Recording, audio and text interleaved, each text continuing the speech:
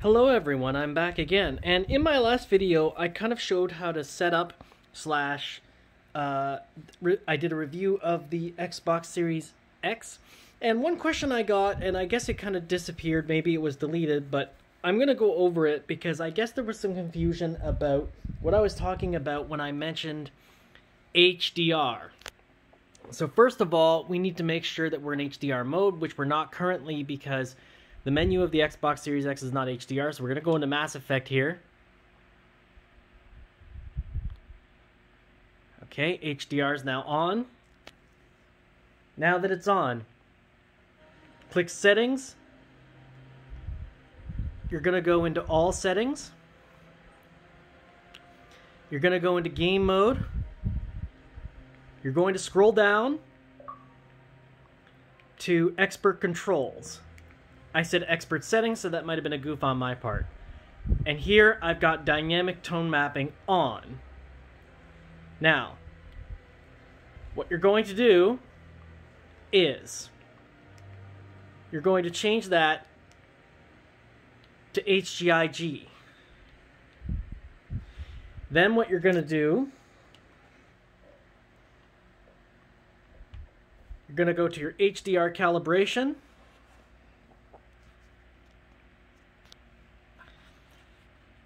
Hit next.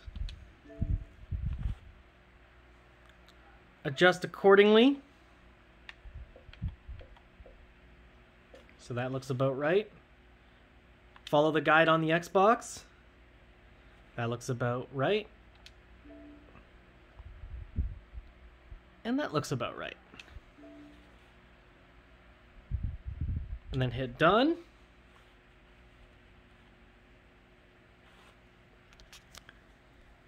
And there you go.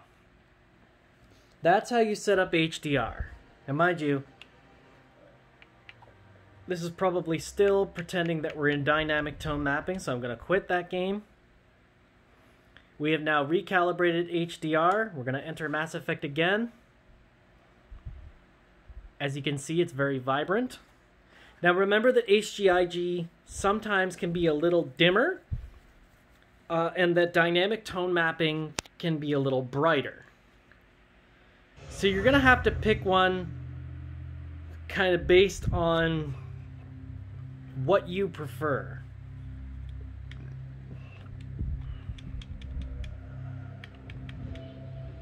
So let's just see how this turned out.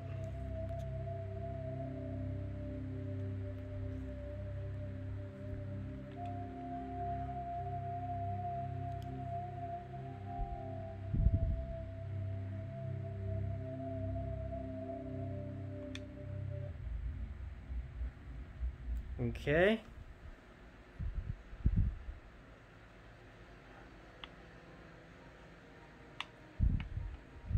And there we go.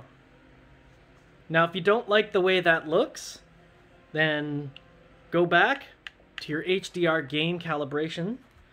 You're going to go back to your settings, all settings, go into game again, scroll down again to expert controls, and instead of HGIG, you're going to change that to dynamic tone mapping. Turn it on. Now that that's on, we can begin. Next.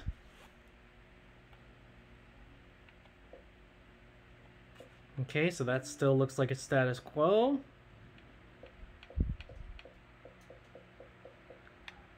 Okay.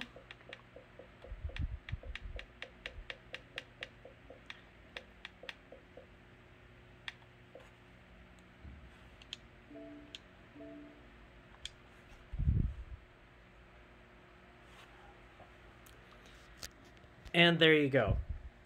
Dynamic tone mapping, boom. Don't know if you can see the difference on camera, but I did try to show you. So, someone asked me also about what I was talking about when I mentioned HDR uh, brightness. I guess they got confused with that, and that's fine. So, similar to before, HGIG really takes advantage of that. So before we go any more into this, okay, so you can't see it right now, but dynamic tone mapping is really overblowing highlights. So here's what we're gonna do. We're gonna go into our settings, and we're gonna go into game again. I'm gonna switch it back to HGIG.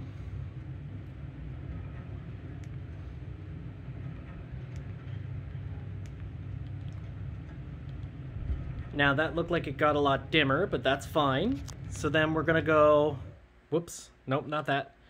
We're gonna go into our settings here. And we're gonna go into brightness. And you see how it says default? And then what you can do is you can adjust the HDR brightness. HGIG is perfect for settings like this. Now, it doesn't always show up like this. Sometimes it'll show up, it'll say 600 nits, 800 nits, um, 1000 nits. And depending on your TV, you can adjust accordingly. In this particular game, they do it this way. They adjust the HDR brightness by 1.1 blah blah blah blah. And then you can adjust it based on how you think it should look. So yeah, that is what I'm talking about when I say adjusting the levels to say 600 nits or etc. That is what I meant. And yeah, that is how you set up HGIG or dynamic tone mapping on the Xbox Series X. Hope you enjoyed that video, guys. If you did, smash that like button and uh, subscribe if you haven't already. It'd be a great time to do so. And uh, stay healthy, stay safe. I'll see you all around. Oh, and watch this weekend because I think I'm going to be posting a PS5 review. Bye for now.